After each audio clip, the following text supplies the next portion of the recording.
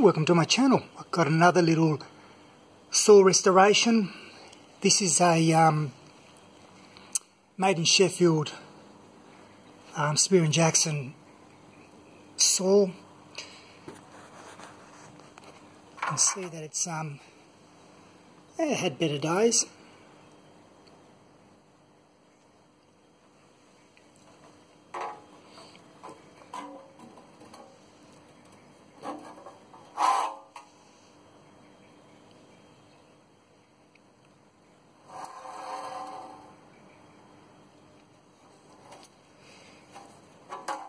Condition of the teeth are pretty good.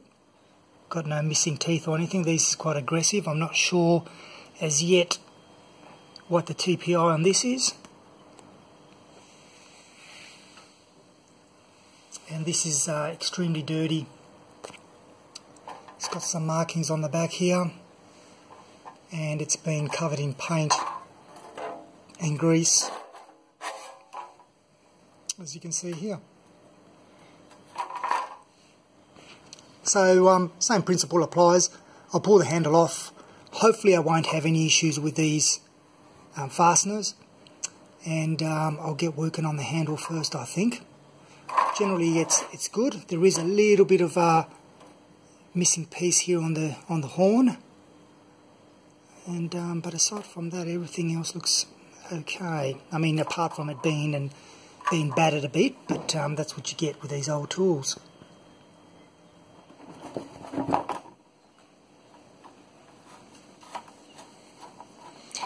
that was very easy. But we know what happened last time when we started off easy.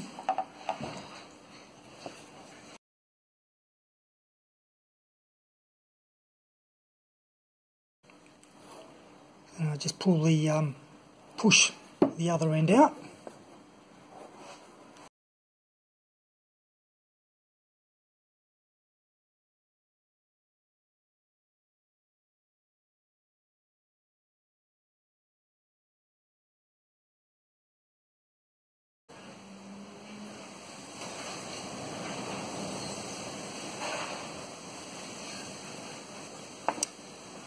and I'll continue on.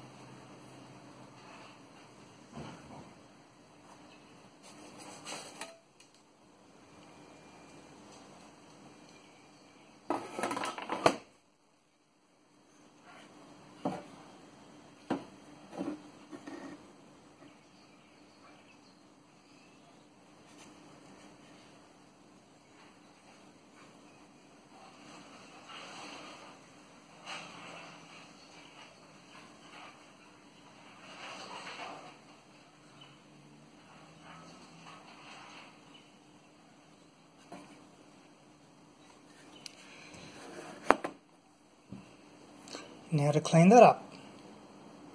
I'll apply the same principle as before, using a bit of um, 120. I'll just go over that. I'm just going to be careful about this bit here.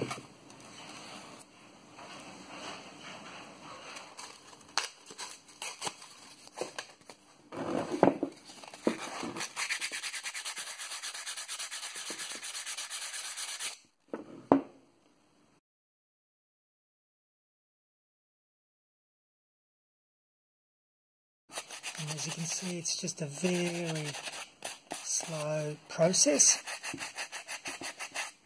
So I'll be doing this. I'll try to get it down to the timber as much as I can. But um, what I might try to do beforehand is uh, try a little bit of paint stripper to see if I can get rid of some of the paint in there without having to wear down this um, the marking here.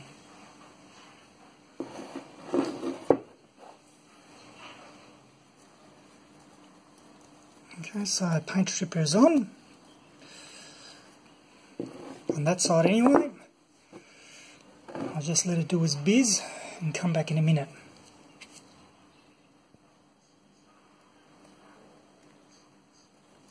Not sure what kind of paint this is, but it's very strange. Just kind of leaves like a pasty residue rather than it actually um, peeling off. I'll give it a bit more time.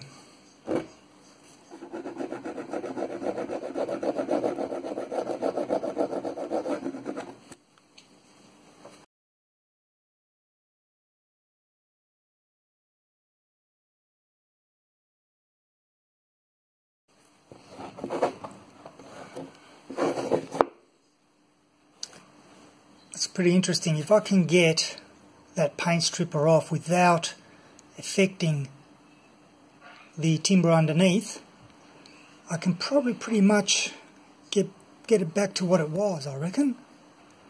So I'm going to continue with the paint stripper and do what you've just seen me do there, which is just gently scraping the uh, paint layers away and see how far I can go with that. Definitely not your conventional way of restoring a handle, that's for sure. I'm making good progress here. Uh, it's taken time, of course. This thing is um, not easy to remove. But um, as soon as I get a little bit further down where I don't need to touch this bit, at least with the sandpaper, I can then continue on with trying to remove the other remaining paint with the sandpaper.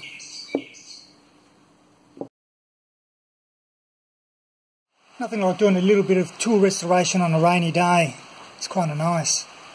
Stuck inside the garage here and enjoying the, uh, the sounds whilst making a bit of progress on this. Still quite a lot of thicker sections of paint that are uh, a little bit more difficult to get out. And what I've been doing is I've just been using, yes I know, a little bit of an abrasive, but just trying to get rid of gently some of the top layers of the paint.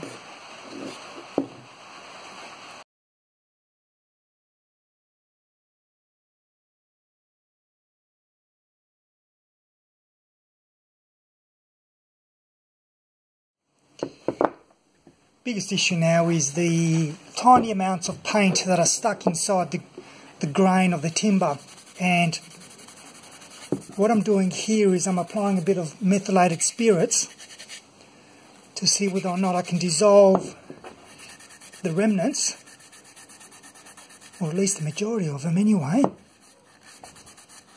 So it's been a couple of hours working on this very slowly and I think I'm going to leave it at that.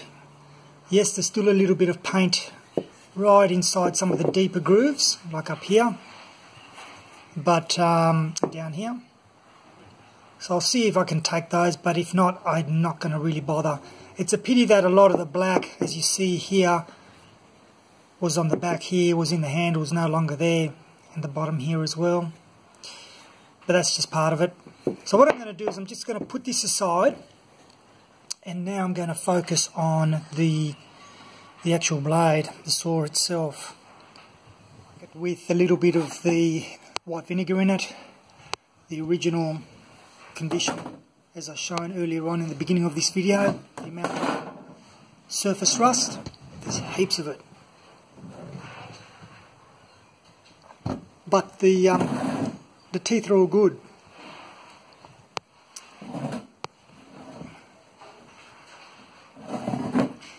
So what I'm planning on doing is just gently starting to uh, just use a scourer, one of these, and that, and start just applying the white vinegar on it and see how much I can actually scrape away, because as you can see I can't actually fit that inside, and I don't have a big enough dish for it. Combination of the scourer, wire brush, it's um look at that it's amazing isn't it and this has only been probably about five minutes worth of work So I'll press on. I just put a uh, plastic bag that I cut in half. That'll stop the table from absorbing the vinegar. And I'll just let it sit there for a while, every so often coming back to it and applying a little bit more vinegar. I think I'll just see how that goes, given that I've got a few more saws to do. So I'll come back and turn my attention to the handle again. And uh, what I was thinking doing here is giving it one more of a, you know, bit of a sand, bit of a, a clean up one more time, and then just going ahead and applying the, lin, the linseed oil to it to protect it. The other thing I've got to do too is just finish cleaning off these, the buttons. So um, that's the next task.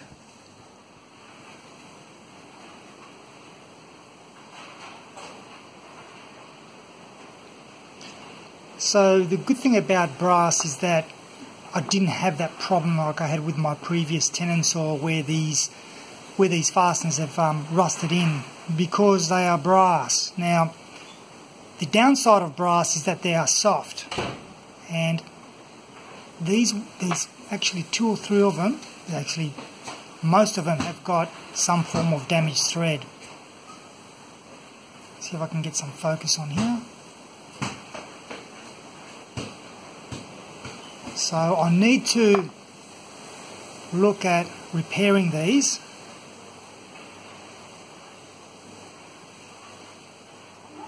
And um, before I can start putting them together. So between using you know, pliers, knife, hammer, etc., whatever, I uh, managed to try and score the thread as best as I could. Unfortunately, two of the of the five, these two here, are severely damaged, but um, they still will fit. But it's not a it's not a nice fit. So um, eventually, I might have to see how I might be able to get uh, replacement brass if it's even available. I don't know. So I'm going to leave these as now complete and done and uh, turn my attention to putting some linseed oil on, on the handle.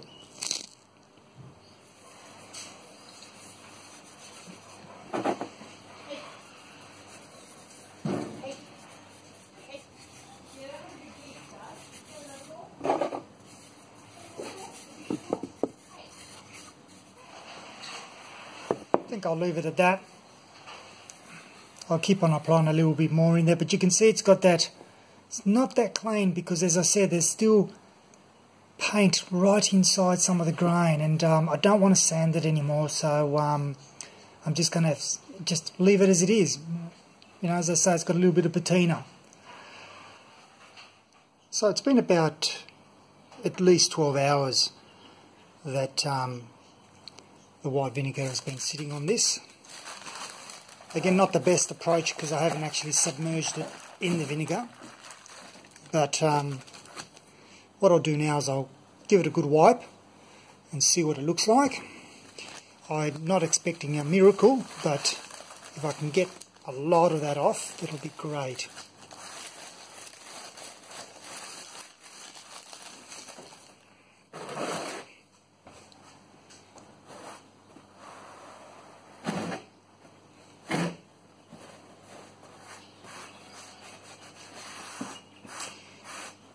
And that's not too bad. Still not there though. We might have to, there was, has been a lot of rust on that, so we may have to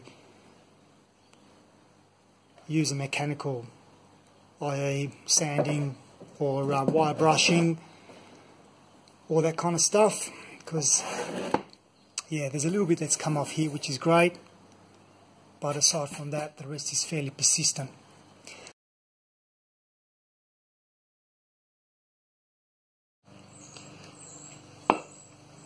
About as much as I can do with the vinegar. Uh, this side is the worst side. And if I show the other side, you can see that's a lot better. Right, so it's been a few hours. I've left the um, phosphoric acid do its bit and then I went back again with the vinegar and this time I'm using a wet and dry and it's actually turning out really good because check this out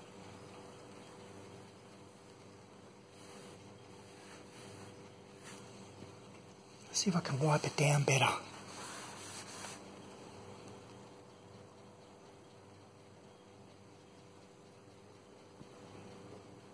it's all come back up, which is fantastic. You can even see down here.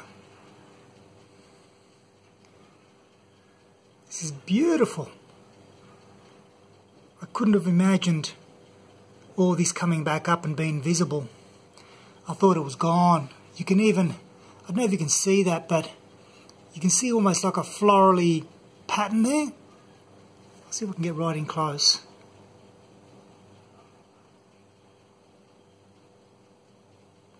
I'm super excited that I was able to salvage this. So I'm going to continue with the wet and dry and try to get as much of the of that off the, towards the teeth here. And um, I think once I've done that, oh, the other thing too you'll notice is the the actual pattern.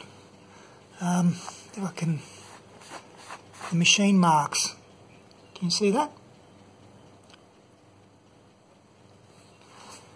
This is really good. I've now finished it.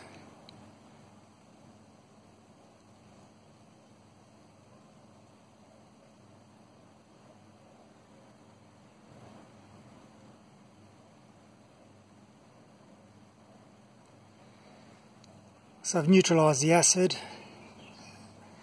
and um, I didn't want to, you can see it's much better than what it was obviously but I didn't want to um, sand too much down. I wanted to try to retain the machining marks and obviously the etching here. So I'm just going to leave it at that. I tried as much as I, I could to remove that surfaced remainder on the teeth. So I've given these a bit of a clean You can see all the paint's been removed out of that now.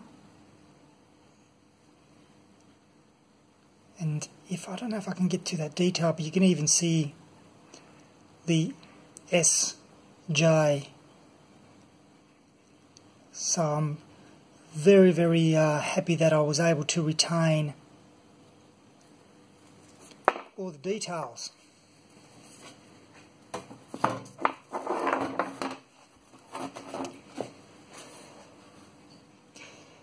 Still a little bit disappointed with um, the finish on this, but given all the, you can see just the dirt, the white remainder of paint.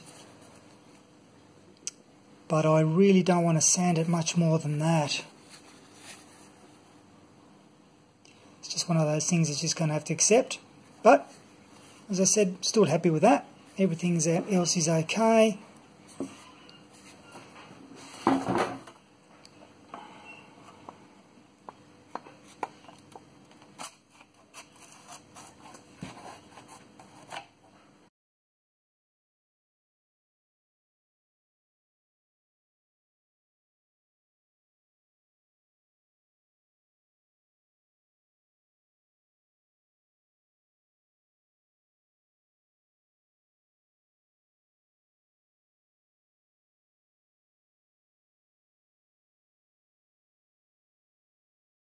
I'm going to do now is just to drift these home.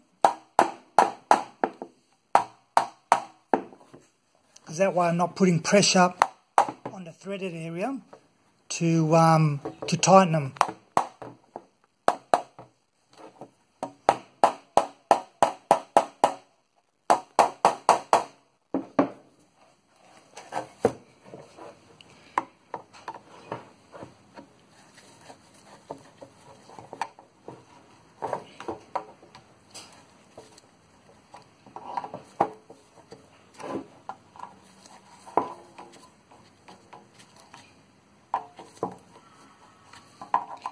Finally the end result. So it's taken me two days, probably about three or four hours worth of work. So I mean, um, it does require a bit of patience. But uh, there's nothing like restoring an old hand tool, I think, anyway.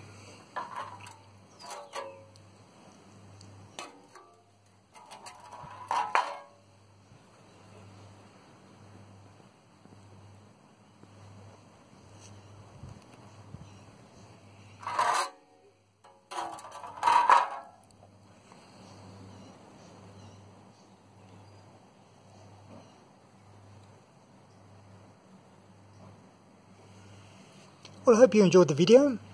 I certainly enjoyed doing the uh, the restoration.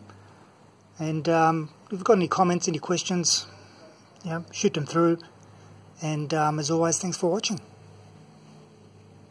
Side note, I've got my um, Disston D8 here, which um, from what I've read online is dating pre-1917. Anyway, this is this is one saw that I'm not going to restore. I'm just going to leave it as is. But I thought I'll try the vinegar with the wet and dry. And lo and behold, I'm getting that same same beautiful markings on this one. Look at that. That was completely hidden under the surface rust. So um, that's a nice little technique that I'm going to remember. So vinegar, wet and dry, this is, um, can't remember if it's 600 or 800, but yeah, just a bit of TLC and we're getting a little bit of this engravings back out.